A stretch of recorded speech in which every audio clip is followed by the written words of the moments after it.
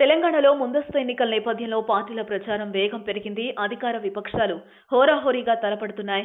ఇక ఏ పార్టీ గెలవనుందో అంటూ వస్తున్న పలు సర్వేలు పార్టీలకు నిద్ర లేకుండా చేస్తున్నాయి. తాజాగా తెలంగాణ జర్నలిస్టుల పేరుతో ఒక సర్వే సోషల్ మీడియాలో హల్చల్ చేస్తోంది.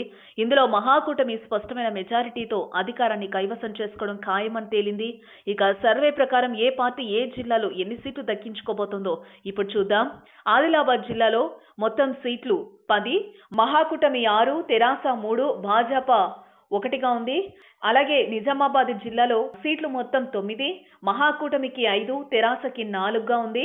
అలాగే మెదక్ జిల్లాలో సీట్లు మొత్తం తొమ్మిదికి గాను మహాకూటమి గెలుచుకోబోయేది మూడు సీట్లు అలాగే తెరాస ఐదు సీట్లు భాజపా ఒక సీటు.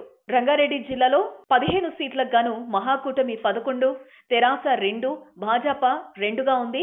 అలాగే హైదరాబాద్లో మొత్తం సీట్లు పదిహేనుకు గాను మహాకూటమి నాలుగు తెరాస ఒకటి భాజపా రెండు ముస్లిం లీగ్ ఎనిమిదిగా ఉంది. అలాగే నల్గొండలో మొత్తం సీట్లు పన్నెండుకు గాను మహాకూటమి ఏడు తెరాస ఐదు గెలుచుకోబోతోంది.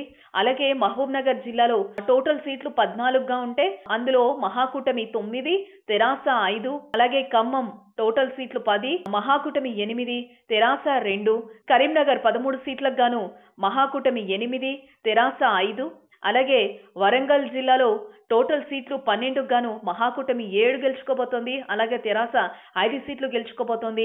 ఇక మొత్తంగా చూసుకుంటే నూట పంతొమ్మిది స్థానాలకు గాను ఆ మహాకూటమి అరవై ఎనిమిది స్థానాలు అలాగే తెరాస ముప్పై ఏడు స్థానాలు భాజపా ఆరు ముస్లిం లీగ్ ఎనిమిది ఇతరులు సున్నాగా మనకి తెలుస్తోంది.